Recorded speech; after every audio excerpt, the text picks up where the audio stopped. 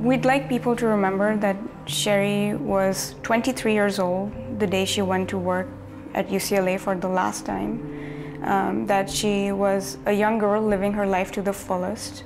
She really, really wanted to make a difference in the world. She really wanted to change it. Sheharbano Sangji, Sherry to her friends, was employed as a laboratory research assistant at the University of California, Los Angeles. She had just received her bachelor's degree in chemistry and was applying to law schools. On December 29, 2008, Ms. Sangji was transferring a highly reactive chemical when some of it sprayed onto her hands and synthetic sweater and spontaneously ignited. Sherry's older sister, Naveen Sangji, now a surgical resident at Harvard, recalls the day of the accident. When my phone rang unexpectedly um, and I saw that Sherry was calling me, I thought she was calling to tell me about another law school that she'd heard from. And um, it turned out to be a social worker from the UCLA Medical Center who told me what happened, and I was in shock. She had deep third degree burns to over 40% of her body. Sherry Sangji died from her injuries 18 days after the laboratory accident. There was a life ahead that she was really looking forward to that was cut short by what happened to her at UCLA.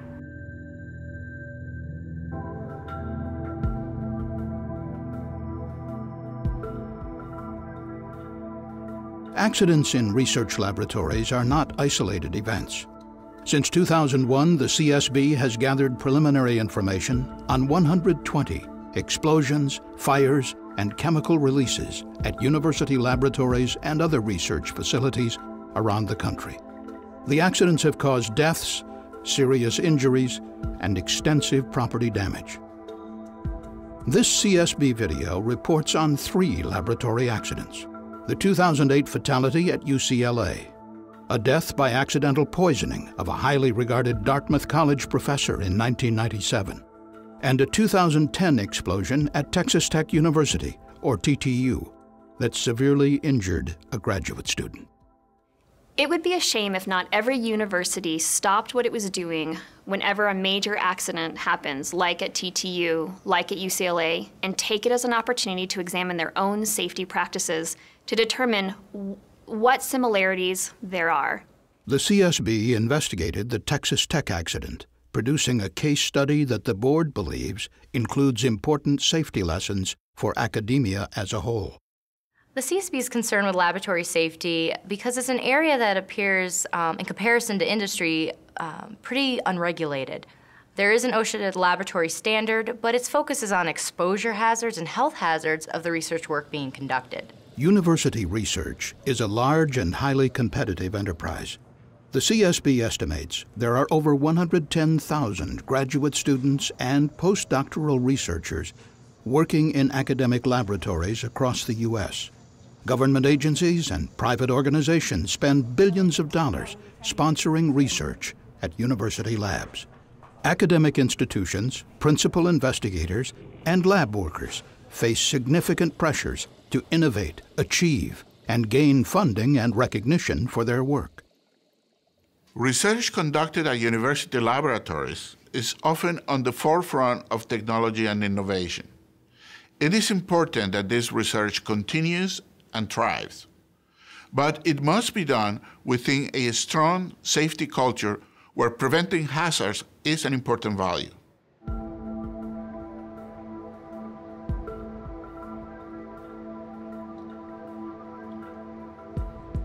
On December 29, 2008, when most of the campus was closed for holiday vacation, Sherry Sangji was working on a research project at the UCLA Chemistry Department. According to a report by California State OSHA, Ms. Sangji was using a syringe to transfer a solution of tertiary butyl lithium, a dangerous pyrophoric chemical that ignites spontaneously on contact with air. Somehow, the plunger came out of the syringe barrel. The chemical was exposed to air. It caught on fire. She also had an open flask of a flammable solvent in the hood where she was working. She knocked that over, that caught fire as well.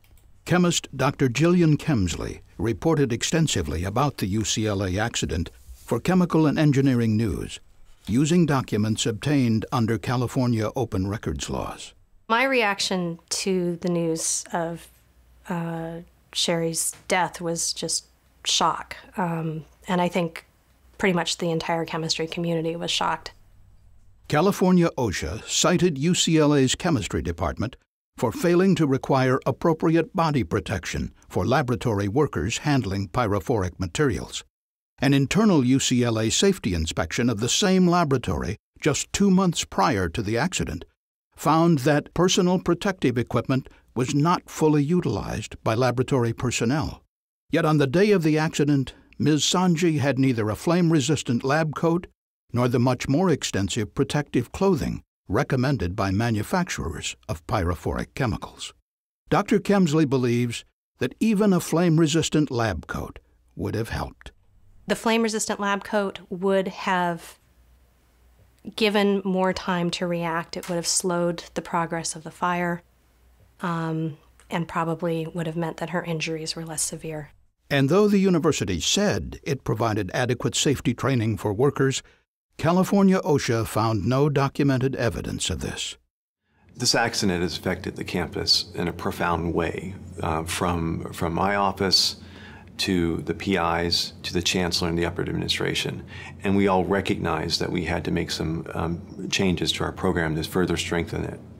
Dr. James Gibson, director of UCLA's Environment, Health, and Safety Office, says UCLA has taken steps to improve safety accountability and oversight, improve training, provide proper protective equipment, conduct unannounced safety inspections, and improve laboratory safety culture. It's not going to happen overnight. That is something that's going to be a multiple year process to really change the safety culture to where we think we should be. And Dr. Gibson urges other universities to take steps to improve their education, training, and safety culture. Once we get people to do that, we're going to see a dramatic decrease in the number of accidents that occur. One of our main aims is to try and make sure that this doesn't happen again and that no one has to go through what we went through. A lost life is not just an anonymous loss of life, but real people and families are profoundly affected. Safety has to be an absolute priority and the first priority for any laboratory.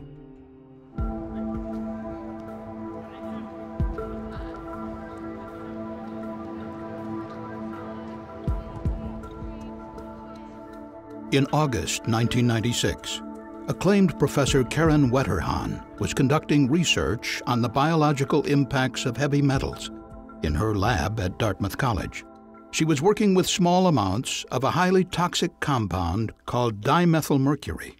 She used a mechanical pipetting device to transfer the liquid compound while wearing latex rubber gloves. During this process, she later told colleagues, one or two drops landed on her gloved left hand. Dr. John Winn is a professor of chemistry at Dartmouth College, where he has worked for almost 30 years. At the time of Karen Wetterhahn's accident, he was chair of the chemistry department. She was not aware that she was in any peril at the time. She cleaned up the accident, disposed of her gloves properly. Everything had been carried out in a uh, appropriate fume hood in her laboratory, and that was that. The, the spill was not considered by her significant enough to report. She was in no danger as far as she knew. At the time, Professor Winn said, no one in the department knew that dimethylmercury could seep through the latex rubber gloves worn by Professor Wetterhahn. But five months later, in January 1997, she began to show serious neurologic symptoms as her balance, gait, and speech deteriorated rapidly. Despite medical treatment for heavy metal poisoning, Three weeks later, she became unresponsive and died in June 1997, 10 months after the accident. I think we were all stunned, not only that it was Karen, a very careful and, and capable researcher, but to find that such a seemingly innocuous event could have led to what ultimately was Karen's death was just un unimaginably shocking. According to Dartmouth officials, Professor Wetterhahn had consulted the material safety data sheet for dimethylmercury, which advised the use of latex rubber gloves when handling the material. Professor Winn says the tragedy led the university to emphasize the need for comprehensive hazard evaluations, rather than relying exclusively on the safety precautions from chemical suppliers. There was an increase in that sort of uh, safety instruction in the sense that it expanded into things that we had not realized required such care and detail, such as glove material.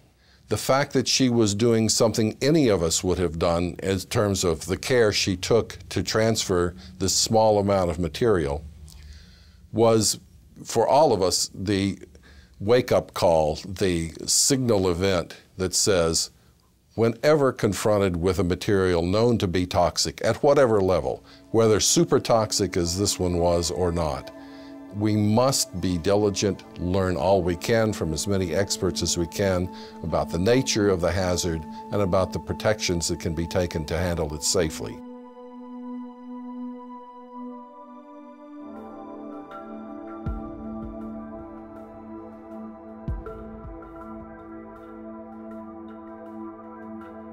In January 2010, two graduate students at Texas Tech University were conducting research on energetic or explosive compounds, funded by the U.S. Department of Homeland Security.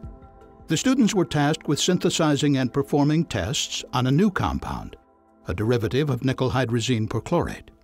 Initially, the compound was made in small batches of less than 300 milligrams. But the two students were concerned about potential variability among different small batches of the compound, which could affect later test results. So they decided to scale up the synthesis to make a single batch of approximately 10 grams, enough for all of their testing. They believed that keeping the solid compound wet with a solvent would keep it from exploding. After producing the larger batch, the more senior graduate student observed that it contained clumps that he believed needed to be broken up prior to testing. While wearing safety goggles, he transferred half of the new compound into a mortar covered the compound with a solvent, and used a pestle to gently break up the clumps. After some time, he took his goggles off and walked away. A short time later, he decided to stir the compound once again. He did not replace his goggles. As the pestle pressed against the compound, it detonated. The graduate student was seriously injured, his left hand severely damaged by the force of the explosion, causing the loss of three fingers perforation of his eye, and cuts and burns to other parts of his body. Post accident photos and video show extensive damage as the explosion fractured the lab bench, shattered bottles, and sprayed the lab with projectiles. Professor Dominic Casadonte was head of the Texas Tech Chemistry Department at the time of the accident. From my perspective as department chair, you go through the emotional trauma of, oh my gosh, somebody that I know has gotten very seriously hurt to soul searching why did this happen? With these academic incidents, people like to focus on the immediate actions of the individual involved and try to poke holes and, and, and with hindsight, you know, uh, assert some sort of blame on the incident, on the individual involved. And what we have to recognize is that there are bigger uh, systems at play here that can influence safety. The CSB investigation at Texas Tech found deficiencies in each layer of safety management within the institution. These included insufficient safety accountability and oversight by the principal investigators, the chemistry department, and the university's administration. And according to investigators, there were also important gaps beyond the university itself. I think that the way we were a year and a half ago is pretty representative of the way that a lot of universities, especially chemistry departments, are around the country. The main lesson I would really like, and it's the way that I start a lot of my talks on safety, is there but for the grace of God go you. That is to say, your universities. The victim at Texas Tech had been working on the energetic materials project for about a year at the time of the accident. But the CSB found that he did not receive any specific formal training on working with potentially explosive compounds. The two principal investigators believed they had verbally established a 100 milligram limit on the production of energetic materials.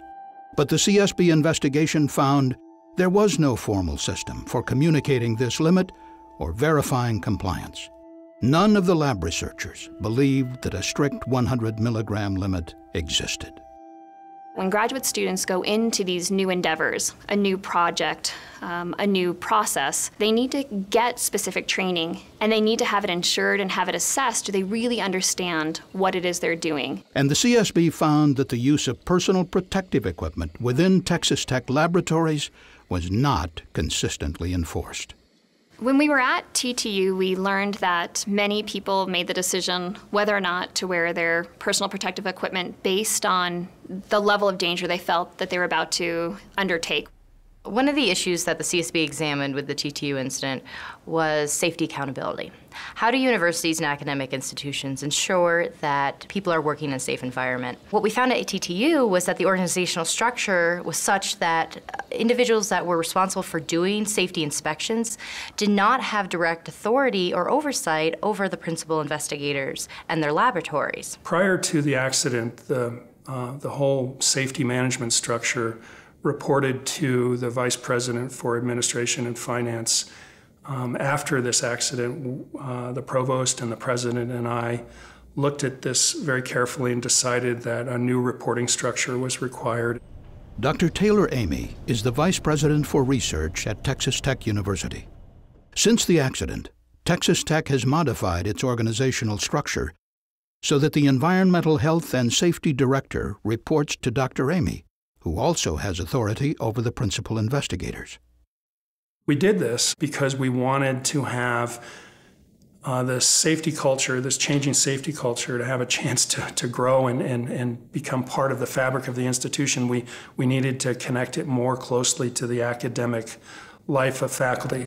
The CSB investigation determined there had been two previous near misses within the laboratories of the same principal investigators since 2007. While no one was injured, CSB investigators concluded there were similarities in the causes of these incidents to the January 2010 explosion. But these key lessons were missed at the time of the earlier incidents. The CSB would like to see TTU and really all universities create a tracking system to document the accidents that are happening so that they can facilitate learning, not just in the laboratory where the accident happened, but really in all laboratories. One of the areas that the CSB examined with the TTU case was the role of the grant funding agency uh, in regard to safety. The CSB determined that the Department of Homeland Security, which funded the research at Texas Tech through an agreement with Northeastern University, had a general condition stating that the safety of researchers was the responsibility of the various host institutions. However, DHS did not impose any specific safety requirements for research with energetic materials, and Texas Tech did not evaluate the hazards or develop any specific university safety policies. Grant funding bodies can play a huge role in influencing safety by including stipulations and requirements in their grant applications. Because Texas Tech is a public institution in a state that lacks its own workplace safety program, it is not required to abide by the federal OSHA laboratory safety standard. But Texas Tech officials did voluntarily develop a chemical hygiene plan, using the OSHA laboratory standard as guidance. When you look at OSHA's laboratory standard, though, it also focuses on health hazards of chemicals, not physical hazards of chemicals. That almost can lead one to decide that it precludes the need for writing standard operating procedures when working with chemicals that provide um, large physical hazards, fires, explosions, etc. To highlight this gap in the laboratory standard, the CSB recommended that OSHA issue a safety bulletin on the importance of controlling physical hazards of chemicals in the laboratory. And the CSB noted that no comprehensive guidance exists for conducting hazard evaluations within the dynamic environment of academic research laboratories. There's a lot of good suggestions and kind of hints at how to do it, but there's not uh, comprehensive guidance on how to conduct thorough hazard evaluations for these graduate students who are doing much more independent research work. As a result, the Chemical Safety Board recommended that the American Chemical Society develop a methodology for evaluating and controlling hazards in academic research laboratories. The board also recommended that Texas Tech University should revise and expand its chemical hygiene plan to ensure that the physical hazards of chemicals are controlled and develop and implement an incident and near miss reporting system. There's a lot of momentum here for um, safety consciousness on campus, but it shouldn't have had to come to that. Don't wait for a serious accident to happen on your campus to begin to think about safety and transform your own culture.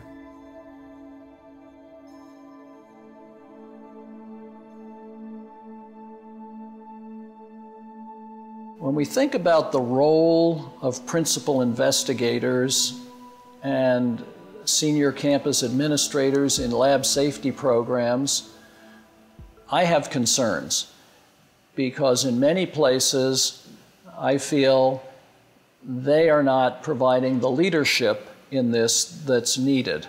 Dr. James Kaufman is the president of the Laboratory Safety Institute a nonprofit organization which provides safety training for universities. Academic institutions encourage their students to achieve excellence in their work. They need to apply that same high standard to their laboratory safety programs, environmental health and safety programs. To achieve a high safety standard, the CSB investigation identified key laboratory safety lessons for universities.